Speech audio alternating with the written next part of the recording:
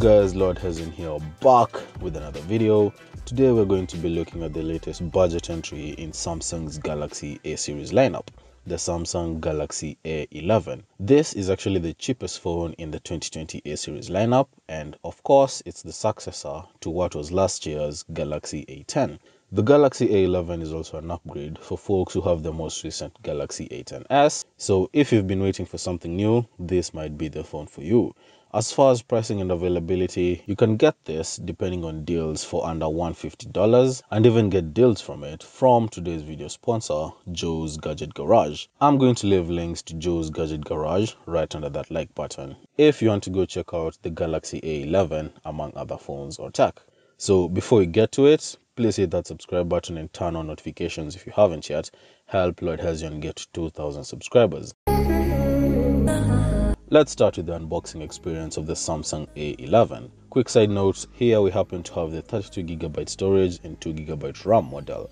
Sliding the cover off, the first thing we see is a little extra package right on top. Inside here is just the normal paperwork, warranty card and instructions and unfortunately it doesn't look like this phone ships with a clear TP case like some of the A series phones do.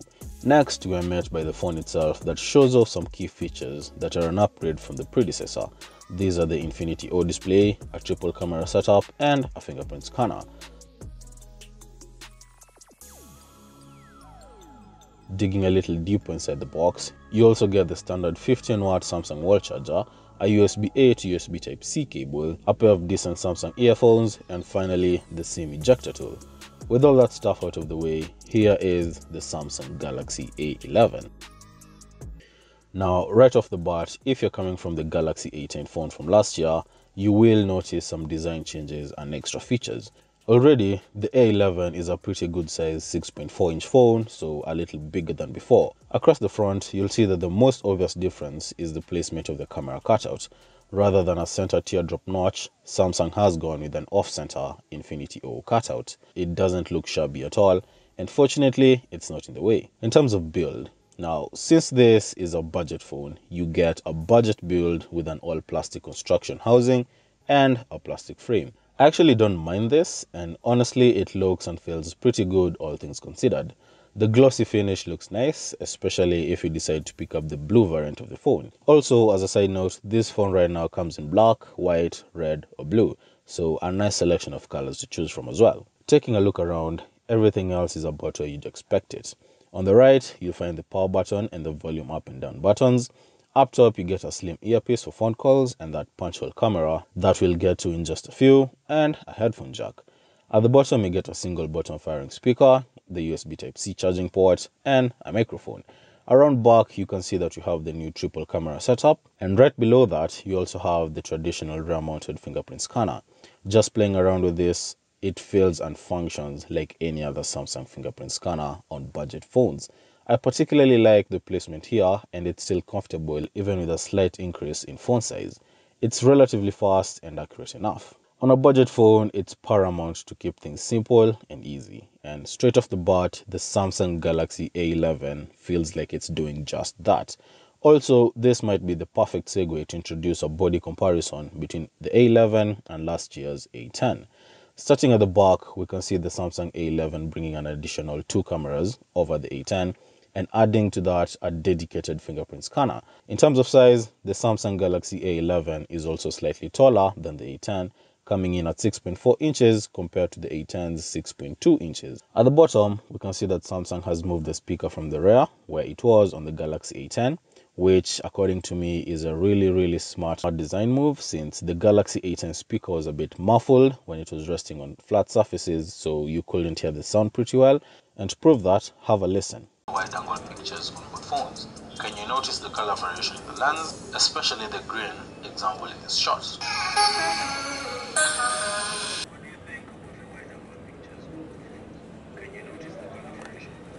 Especially the green example in this shot.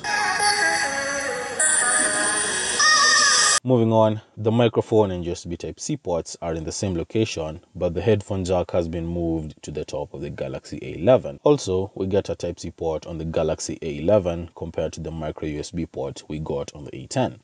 that's just about it and all things considered the volume rocker power button and sim slots are still in the same place in regards to the screen while things did get a little bit bigger the A11 doesn't get any huge display upgrades. You'll still be looking at that TFT display that comes in at a resolution of 1560 by 720. While Samsung's premium phones have surprisingly good AMOLED screens, you have to keep your expectations in check here since the Galaxy A11 is a true budget phone and it's not going to compare with those high-end pricier devices. All things said, I still think things look pretty good here. Viewing angles aren't too bad and I think you still got some good color and contrast.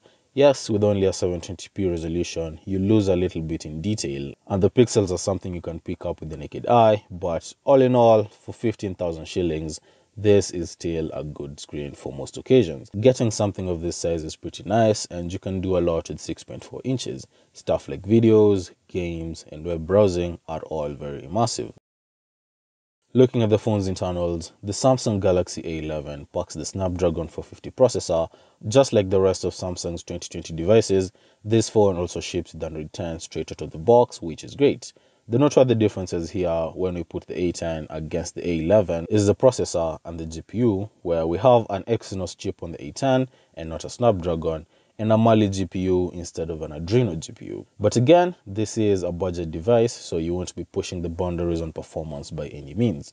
You are sorted for web browsing and content consumption though. Also, since you're only getting 32 gigabytes of internal storage, which is barely enough in 2020, you can utilize the SD slot and add up to 512 gigabytes more, which is really nice.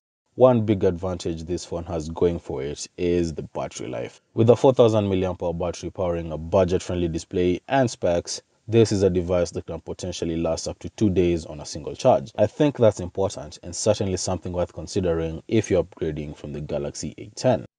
Now, moving on to the cameras. Once again, Samsung's focus on this is the same as all their other budget phones. All things considered, more or less you will get an upgrade. The Samsung Galaxy A11 packs a new triple lens setup and it includes the 13 megapixel f1.8 wide angle lens, a 5 megapixel f2.2 ultra wide lens, and a 2 megapixel f2.4 depth sensor. The new lens here is the ultra wide angle and I honestly think this is a great addition and it sort of finishes a near perfect camera setup for a device like this. Coupled with some new shooting modes and even a pro mode thrown in with some extra manual controls, this phone now offers a surprisingly good camera setup for its price.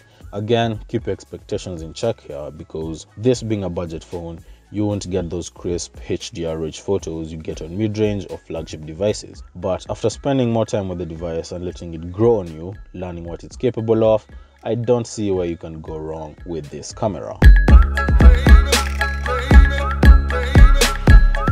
So to wrap this up, what are my final thoughts about the Galaxy A11?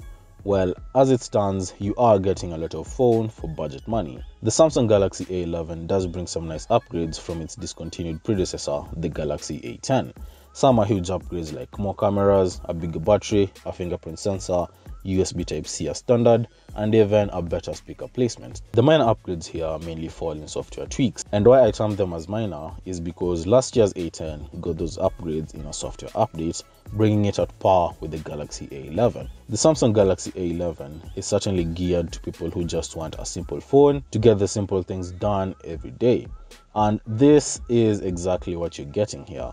Also, I've got the similarly priced Samsung Galaxy M11 with me. So if you fancy seeing a comparison video on both phones, leave a comment below on what you want to see covered and I'll serve up that video. I'm going to leave links to Joe's Gadget Garage right under that like button if you want to go check out the Galaxy A11 among other phones or tech. So that's been it. Thanks a bunch for watching hit that subscribe button if you haven't yet like this video it helps the channel a lot share this video with your friends and i'll see you in the next one